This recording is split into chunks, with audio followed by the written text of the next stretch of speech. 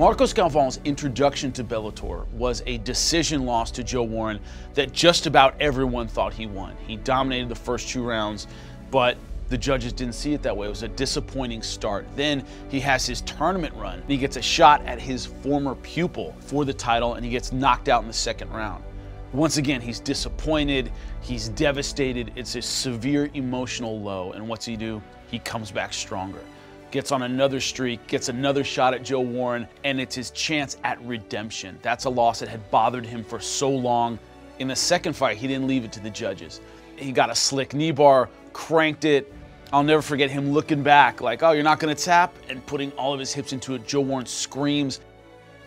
That's the end of the fight, and he wins the title.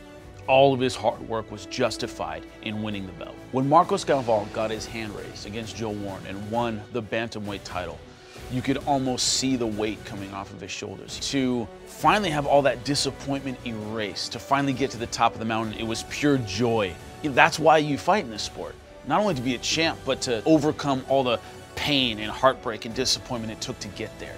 And you could see that on his face when he beat Joe Warren.